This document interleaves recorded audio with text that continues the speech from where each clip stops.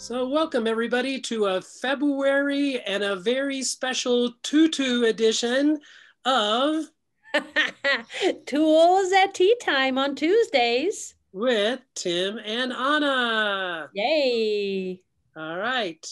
So, um, you know, Anna, we usually we it's not unusual for us to start this show with some kind of a poll for everybody but this week there were just so many choices that i just couldn't decide which poll to do. So i decided that maybe we should let them make the choice. So here we go. Here's some choices. There's Lech Walesa, who led the Solidarity movement in overthrowing communism, he was a Pole.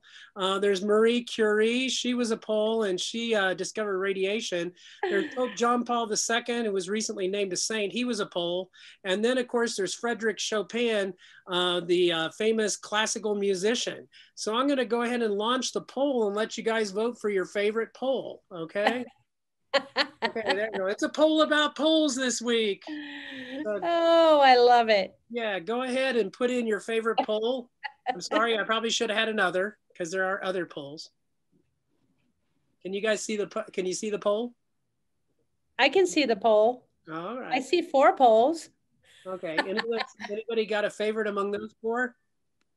Okay, you know, Anna, I can't see people voting. Maybe you can. Can you see their votes? Yes, I can. It's looking really good. And uh, what a big surprise that we're in the Denver Museum of Nature and Science, and the majority, well, everyone voted for Marie Curie.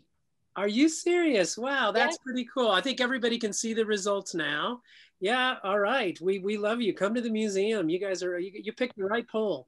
Okay. Uh, all right. So I think Anna, uh, this is you talking about our roadmap for today. All right. So well, Tim, you know that all of these awesome educators they don't need to come hear us go on and on about stuff. So we're just gonna get on with it.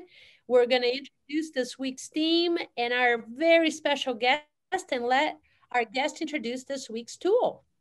All right, so our um, we'll set the tone with our weekly email from our imaginary fan base. And uh, Rodney writes, Dear Tim and Anna, this has been an emotionally challenging year for all of us. Some of my students, students have spent months living in situations of chronic stress, while others have been living in an environment that they might describe as too boring. So as we return to the classroom, how do I figure out what kind of social emotional support each of one of them might be needing in the moment and respond to them compassionately? Signed, Yes, I'm back, Rodney. We missed Rodney. We really did. Yeah. So I'm so glad that Rodney brought all of these awesome things up because this week's theme is practical tools that have powerful calming benefits for the nervous system.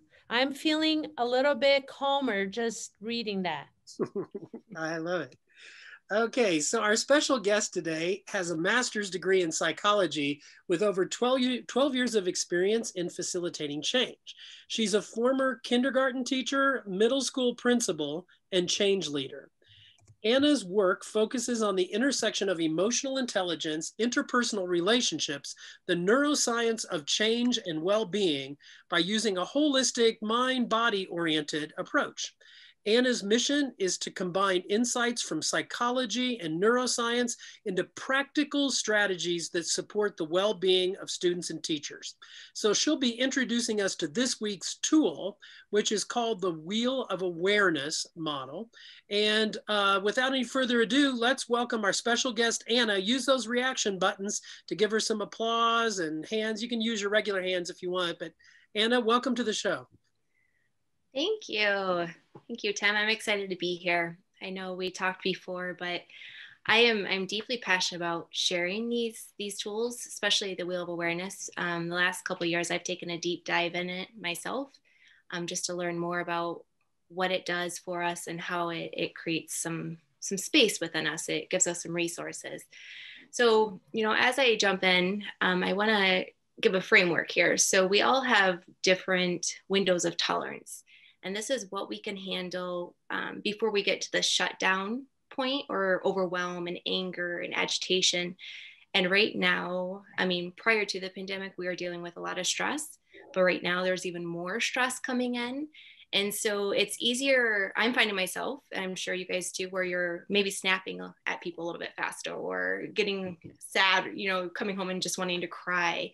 Um, so we're, we're, we're out of our windows of tolerance. And it's really hard for us to show up for other people when we ourselves are outside of our tolerance.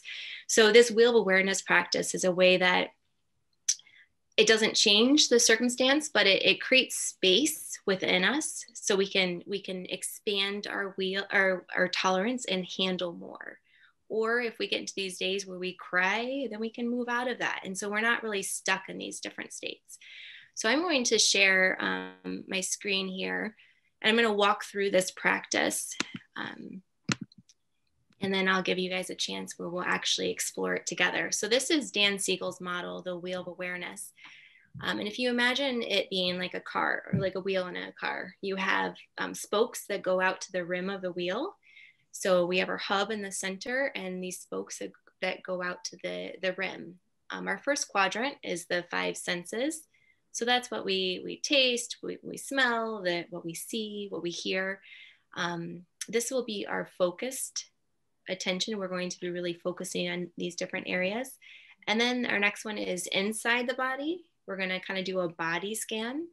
Um, and that's what we call the sixth sense. So that gut feeling, or you know, that sense that you know something's right or wrong, that that brings in that gut feeling. Then we move down to mental activities. This is the third quadrant, and this is our our dreams our wishes our inner chatter. It's the voices it's our desires it's our attitudes. So this is all that mental activity that happens in our brain. And then our fourth quadrant is that sense of connectedness to others. Um, the research has found Dan Siegel has shared a lot on his website is that a three pillar mind training practice so it includes focused attention open awareness and kind intentions has huge changes. It can make huge changes within our um, physiologic, like our whole body and their makeup. So it, it reduces inflammation in the body, it reduces cortisol level, which is our stress level, um, slows down the aging process. So it does a lot of things for us. Um, but what I found for myself is it's helped me to just create more space that I can actually handle more without feeling overwhelmed. So I'm going to share that practice with you today. Um, we're going to walk through the wheel. Um, I'm going to walk through in a guided meditation. You can feel comfortable if you want to open your eyes, close your eyes. You can turn your screen off, um, whatever is comfortable for you. I do also want to say is sometimes when we dig into these practices and we're not used to slowing down and tuning into the body, it may bring up things that we're not used to feeling. So if you ever get to that point, you can look around the room or take some breaths or focus on different different things. Okay. So I'm going to walk us through. Is you have any questions before I jump in for the actual tool? So everybody, as we're going through this, you might watch us transition from the senses to the body mm-hmm. to uh, uh, certain types of thinking to thinking about others, kind and intentions towards others. Um, and Anna's been posting on PB, uh, PBS blog. Uh, we dropped one of those articles into the folder this week for you to read if you want to get the bigger picture of how this fits in to that windows of tolerance thing. But um, otherwise, I'll be quiet because Anna's going to start this. yeah, so you can get into a comfortable position, um, seated, laying down, whatever's comfortable for you, eyes open or closed. I'm going to keep my eyes closed. That's um, my more more comfortable with that. And we're going to walk through this practice together. I'll keep this on the screen if you'd like to see it, or you can visualize it in your mind. So just begin by dropping into your body. Just notice your breath. Notice the pace of your breath and the speed. And we're going to start by focusing all of our awareness on the sense of sound. Just notice what you hear in your environment.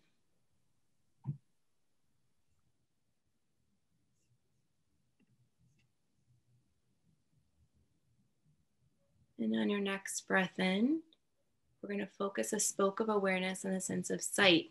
If your eyes are closed, just notice light or darkness that comes in through your eyes.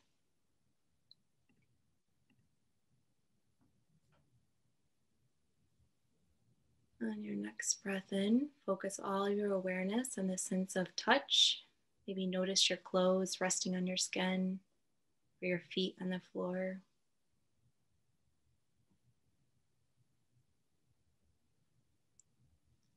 And the next breath in, focus all of your attention on the sense of smell. Notice if there's any smell in the room.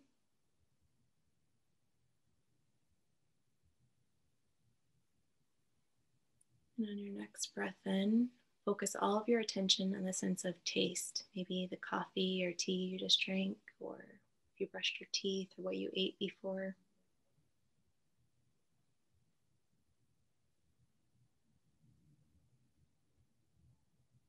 And on your next breath in, we're going to move that spoke of awareness to the second quadrant. This is our internal sensations. So we're going to start at the top of our head and place all of your attention on the top of your head, the back of your head, on your cheeks, on your jaw. Sometimes we hold tension in our jaw, so you can relax your jaw. Place your attention on your shoulders, on your arms, on your fingers. Place your attention on your upper back, your lower back, on your stomach, on your chest, rising and falling with like each inhale and exhale.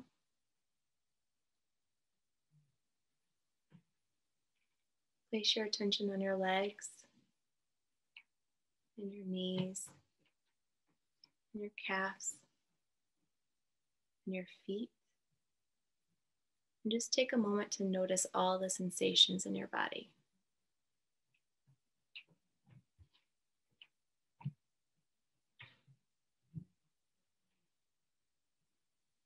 The next breath in, we're going to move that spoke of awareness to the third quadrant, and this is our mental activities. It's the mental chatter, it's our thoughts, our dreams, our desires, our attitudes, all the mental activity.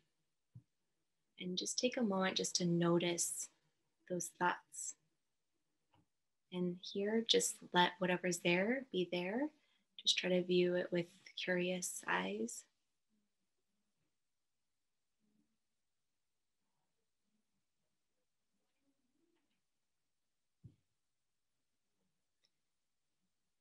And now staying with that, notice how the thoughts come in. Do they move in one at a time? Do they stay there for a while? Are there a lot of thoughts at once?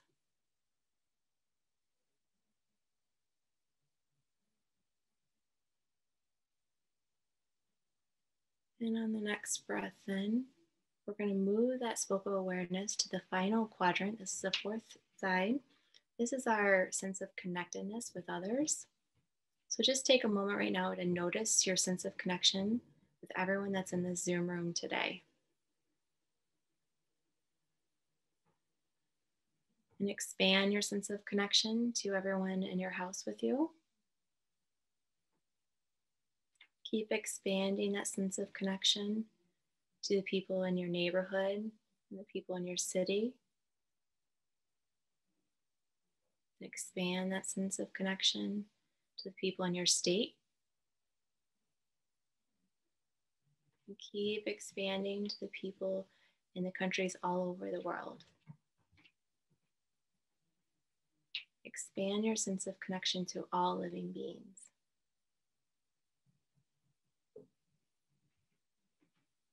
And on your next breath in, we're going to bring the wheel of awareness practice to a close. So when you're ready, you can open your eyes, maybe look around the room to bring you back into this space.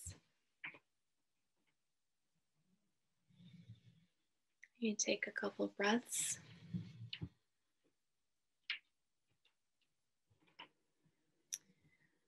So what I did there is a, a really quick trip around the wheel of awareness. Um, usually you would spend a little bit more time in each of these.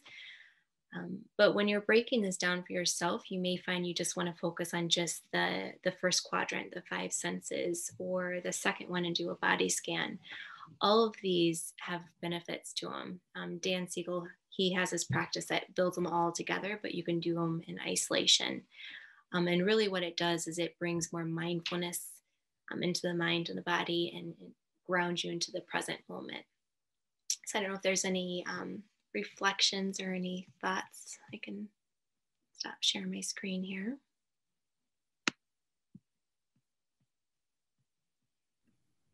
That was amazing. Feel free to just type those in the chat or unmute yeah. yourself.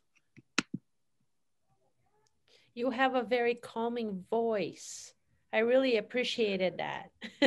Mm-hmm.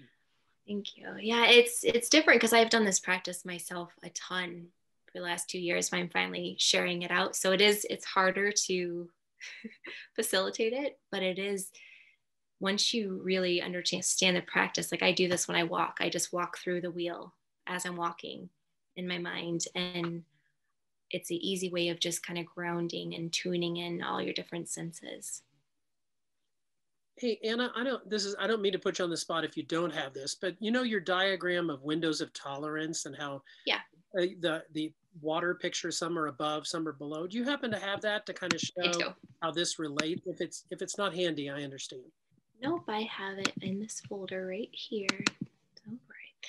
Yeah, the window of tolerance. This is something that um, we created using Dan Siegel's model. He has one um, to show a visual of with kids and, and ourselves when we are outside of our tolerance. So we all have this window, and that's where we feel safe and we can engage in the world and we're happy and present, and mindfulness is within that window. Um, and we sometimes move outside of that tolerance, and that maybe um, I think with the pandemic, a lot more people have felt tired and um, maybe just exhausted and depressed and feeling these emotions where we're kind of shutting down. Or we've also seen the fight or flight, um, the fighting with the toilet paper, you know, a lot of the fighting, even with a whole bunch of other things that we've seen um, in the recent days. So we're, it means we're outside of our window of tolerance. And by doing these type of practices, it, it really expands our tolerance so that I can feel these emotions, but then I don't have to stay in that shutdown state. And Anna, I know you mentioned to me when we were talking that you don't have to do the whole wheel, that just Mm-mm. the breathing alone or get feeling where your body is, having kids stop to feel whether any of those components has beneficial effects to bring you into the window itself yeah. or kind intentions. Yeah. Yeah, all of them. They, it's just really it, it's grounding here now. I know I've done it with teenagers, you know, they walk through this and even that body scan, they're like, oh, I do feel a little tension here and my lower back hurts. So, you know, it, it, helps people tune into where they're actually feeling things when we're so used to just pushing through and moving, keep going, keep going. Um, so it gives us a chance to just stop and, and be. Yeah. Well, Anna, I can see that people have typed in the chat. Adrian was, uh, was saying, I needed this after being on quarantine and coming back to school today. And uh, Danielle says, thank you. I, I knew I wasn't supposed to miss this week's episode. So um, I'm oh. seeing that some teachers are finding a usefulness already in this. And if you have questions or thoughts, type them in the chat. Anna's going to stick around for a few minutes afterwards as well, uh, as we often have a little Q&A after the show is over at five o'clock. So feel free to hang on for a few minutes if you like. It's later, it's going to be seven where Anna is. So I want to respect that. Um, I think we'll go to breakouts. Is that all right, Anna, or did you have? Yeah, some- just just real quick, if you want, um, if you want to put my website in there, I do have this practice as a short. I did it um, a quick recording of each of these individually, so you don't have to go through the whole practice. Um, and I also have other stress reducing strategies where I made like one minute videos to show um, what they are. All right, so I'm popping that into the chat right now. Okay. Um, and if everybody, so this will be, this is Anna's website. If you would like to, you know, uh, check on that, uh, eh, you know, and we'll make sure that it's in the resource file as well. Um, we're going to send you guys to breakout groups, but, you know, be thinking about you, when you, you yourself are uh, out of your window of tolerance or think mm -hmm. about when one of your students, and at any given time, of course, we know that we could have students that are agitated and outside of the window of tolerance on that end because they feel like they're in danger, social danger, cognitive danger, and others could be in that you know freeze state where they're just withdrawn and they're non-participating, and we all have to bring them back in uh, to that window of tolerance where learning can occur. So the breakout prompt is this. How might you use the wheel of awareness and other tools to keep your students and yourself in that window of tolerance. Think about how you might be able to use that or how you're currently using some of these practices that you can share with one of your colleagues.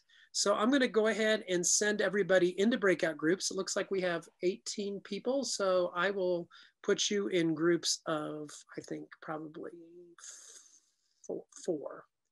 Oh, lost the control here. Uh, one second, please. Sorry, gotta be smarter than the technology. That's what I'm working on. Okay, breakout groups just left. Can you see? Okay, I can see it, Anna. Okay, so we're gonna put Okay, so I'm going to go ahead. Uh, if the people in breakout group three would not accept my invitation, could you just stay here in this room? Um, because I'm going to have you guys be on recording so that other people can hear the interesting things you're saying. That's breakout group three. Marie, Danielle, and M. Brett, please don't uh, accept my invitation. Okay, otherwise, we'll see you back here in about five to eight minutes, about eight minutes or so. Um, Tim, did you want me to stay in this room or? Join the um, breakout? You know, Anna, it's it's up to you. If you want to stay here so that you're on okay. recording, that'd be fine. That'd be great. Okay, I'll stay here. All right, thank you. But I think Anna and us want to hear from you guys, the teachers that are in this group. So I'll, uh, I'll copy and paste the prompt into the chat so you guys can remember what we're talking about. So um, thank you for sharing this. I, I see this as a way to clearly communicate personally when I freeze up um, because I feel threatened or scared or it's too much, then to share with coworkers and then to learn to share with students uh, a common ground where we can look on the wheel if this is where you're feeling or threatened. Um, and then I also like, I I try and tie into students' memories to start with art projects. I teach art, so having that calming place first and then to go into come up with a memory based on those senses. So thank you. Yeah, I totally will use this for myself first. I'm in my car on my way home, so sorry. um, I was trying to do that meditate. I was trying to do that meditation in the car, and I was like going over bumps, and like I could hear the engine. Um, but I definitely, I just did fill your bucket last week with my second graders, and I'll probably be right now. I'm doing smart goals, so this will be next. I'll look mm-hmm. into this, and then next Monday we'll start this because um, it's a necessity, and I mm-hmm. and I I'm realizing myself. Um, it's this is a little crazy, and it's and for everyone that knows me. yeah. Well, Danielle, you'll have to let Thank us you. know if you notice a difference in the kids. If you notice that the kids I, are more grounded and uh, feel feel you know more attached to the work and to each other, and yeah. Yeah, I will. Hi, Flora. I think you got your group, I think they left. So thanks for coming in and joining the main group. Share with you um, guys that, you know, uh, for Christmas, I asked my husband, I want a massage table and I got that for Christmas. So now um, I, I do little massages with my little kiddos because I just felt like there was so much tension. Uh, even for myself. So we're giving our treat almost, I want to say for my own kids, I wanted like twice a week, uh, we're doing this massages where I just like turn out the lights and, and pretend that I know how, what I'm doing, but their their attitudes and even mine, they're just so we're so much relaxed now. Mm-hmm. Yeah, it's interesting to me. I grew up in kind of a Western uh, Christian tradition, and I benefited a lot from a lot of aspects of that, but I don't feel like it was sort of like the body wasn't part of the larger picture mm. um, and ha- connecting our relationships. And, and so I find that part of it really interesting and useful that, you know, that getting grounded in your body helps you to become more connected to yourself, to other people, and more capable of doing good work. And I appreciate that that's come into the conversation in education, thanks to people like Anna. Mm. Um, I know at my school we have a whole social emotional, we actually have social emotional learning as a special. So when things are normal, um, my kids go to social emotional learning for a special for a week. Um, now with uh, with everything, our specials are in six weeks blo- six week blocks, so they're going to get one big chunk of it. Um, but I've noticed that since we've started this, I see a lot more of them being able to regulate themselves and calmer, like you were saying, Flora, and um, yeah, easier to regulate themselves and easier, actually easier for me to manage, Mm-hmm. um, which is nice. Yeah. Somehow we think we have to manage them, and really it's them that has to manage them, right? They need to manage themselves for sure. That's such an important skill to have as a human being. Yeah. Okay, well, keep talking. I'm going to bring everybody back, but that'll take a little over a minute for them to come back. So um, sorry to interrupt. Um, I have a question for you, Anna. Uh, so I mainly work with preschoolers, and even if I get a two deep breath, is, is that enough, or what? What suggestions do you have uh, for preschool?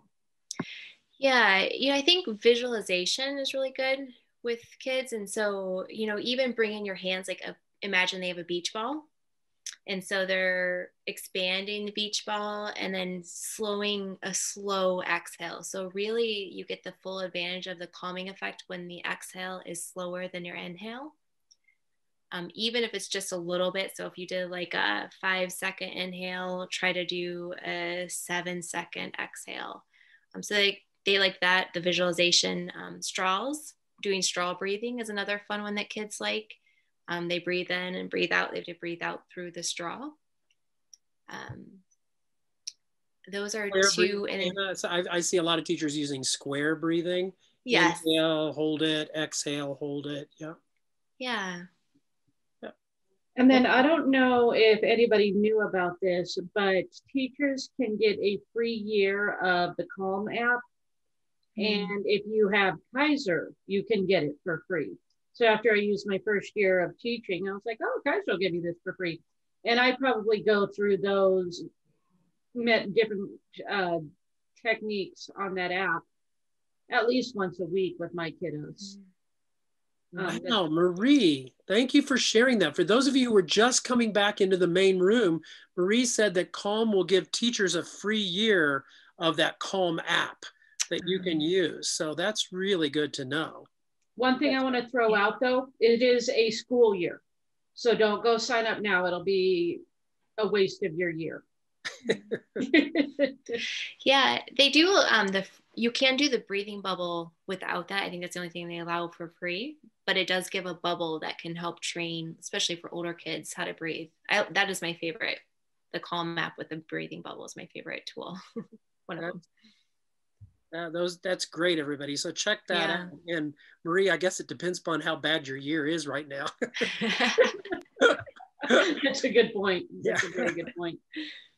All right, everybody. We appreciate you taking time to talk to each other. I hope you generated some interesting discussions and ideas. You know, I think oftentimes we think our job is to teach just the head. Um, and mm -hmm. I mm-hmm. appreciate Anna coming on and reminding us that there's good science behind that kind of integration. Um, Anna, take Anna, take it away. All right.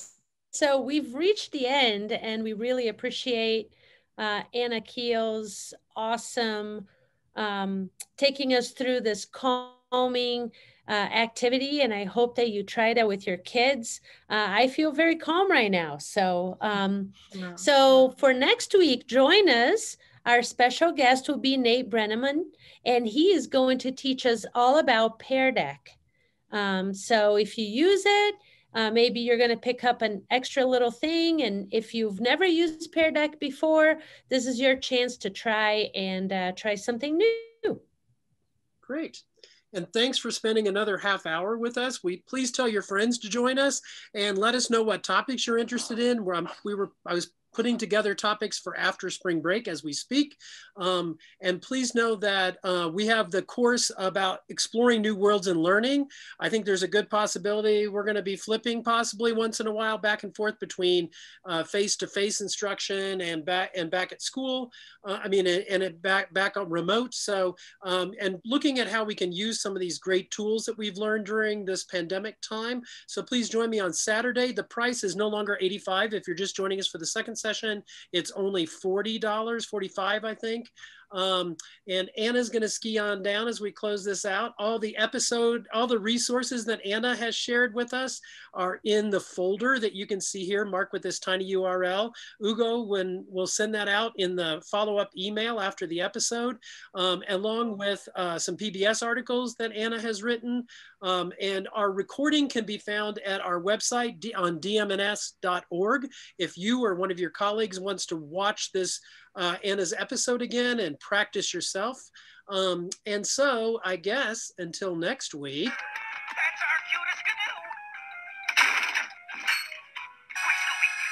Hey Tim, can I say something? Yeah. Here we go. Take it away. This so I completely ran out of time to put a slide together, but I just wanted to share with you all that we are offering scholarships to all schools uh, so that could be for any of our programs that are either on site, some of our curiosity kits that we send out to schools, or any of our virtual programs. Um, so if, uh, yeah, if any of you guys are interested in getting some free or reduced uh, discounted programs from, uh, from the museum, reach out to Tim or myself and we'll get you guys more details. But that's available starting right now through the end of the school year. So take advantage of it. Thanks, Hugo, for reminding that. And we'll put it up again next week too. And we'll send it out in the follow-up email. So yes, thank you. Again, let's give Anna uh, some some jazz hands, some reaction buttons. thank, you. thank you for joining us. Thank you. If anybody wants to ask Anna a question, she agreed to stick around for a couple minutes. Um, it's late where she is uh, to answer some questions. Otherwise, we'll see you next week, hopefully. And I was just going to mention that I started um, breathing exercises with my students. And on one hand, it's easy when kids are at home because you don't have to hear them. but two of the three classes, one just has a couple of characters who yesterday decided, and but today it was better. So hopefully we're moving to that direction. My question maybe is, um, I know, well, I've just done it in the beginning of class so I have them just do a mental, you know, warm up, a do now, we call it. Um, but then try to do it as immediately as possible. Is that what you recommend as far as when to do it? Yeah, you know, I think you're introducing it. I think that's the most important thing is to get them to have that experience. And then once they they will start noticing and they'll start wanting to to actually breathe because they'll notice how they it makes them feel calm. So I think starting gradual because it can again it can be the breath can be overwhelming for people too if they're not used to breathing down in their lower stomach that can be overwhelming. So i think starting off is is great. And then get maybe give optional. If you like like to take a breath you can take a breath here or um, so build it in um, down the road. But exposure is the most important is giving them that experience. And then they can learn does it work for them or doesn't? Maybe it doesn't work for them and that's that's okay too yeah, and I thought just as far as some changes, I'm just using the one that's on um, on Google. It's just really small, but mm-hmm. expanding that into some other ones I could take the whole screen. Also, the you know the ball that you used, just mm-hmm. you know balls breathing and that kind of thing. Um, my big thing with them is the hardest. This is this is a difficult skill. This is hard, and the hardest thing is one thing, and that's focus is to your ability to remove everything else and focus simply on your breathing. Mm-hmm. So sometimes um, I try to say, you know, this is the big challenge. Can you make it? Can you do it? Mm-hmm. You know, kind of thing. But just a piece of also its importance. It's it's uh, important when you're stressed, when you know, give them a few scenarios that would apply to them. And so, and, and like you said before, is you know, if nothing else, five years down the road, it might be useful to them. So, and it's not taking, I mean, I do it for just, a, I've just started with 5 mm-hmm. you know, and let it do five of them. And I just kind of count them. And then I think I'll gradually get bigger, but I probably won't, you know, go longer than um, maybe between 30 seconds and a minute just to get them started into being, you know, really comfortable. You yeah. know, John, I'm sorry. I'm sorry, Anna. Go ahead. No, no, no go on. Um, you know, I was also thinking, John, you do it at the beginning of class, but maybe too, you could establish relevancy like when you read stress in the room like if they're about to take a mm-hmm. test or something it's mm-hmm. like okay um, you know i got the best tool i can see you guys are a little stressed and i think this is really going to help and i also wondered about like um, since you teach science and social studies uh, introducing the science of it almost like an experiment. Mm-hmm. Hey, here's something that science says really helps you to feel calm and like have your mind feel clearer and sharper. would you like to try this? And then afterwards, we'll see how people are feeling. Do you feel like you're calmer? Do you feel like your mind? Because I would bet even the kind of nuttier sixth grade boys are going to feel a difference, that, that it'll be like an experiment they could try. Mm-hmm. Not well, that will solve the problem for every nutty sixth grade boy. Um, yeah, that would be that would uh, yeah, that would be interesting. But some are more nutty than others, I guess. yeah, that's for sure. Yeah, I don't have all the nutty ones. I've got a boy who's online now, and he he like jumps on the bed and plays with some gun toy and you know, puts his mouth into the camera. And oh so I'm glad he's home so he can just energy out. Uh, well, that was a great sort of makes us laugh. Maybe not you, John. Uh, I don't want to keep Anna too late because yep. she's on the East Coast. We really do no, appreciate your time. And John, great question. Yes. Yeah. Thank you. Thank you. Yeah, so thanks much. for having me, guys. It was wonderful to meet you. Thank you for giving us this wonderful tool. Yes, no, definitely dig in, and, and he has free um, things you can get on his website too, so you can practice on your own own pace and time. Great. Thank you. Okay, thanks everyone. Thank Bye-bye, you. everyone.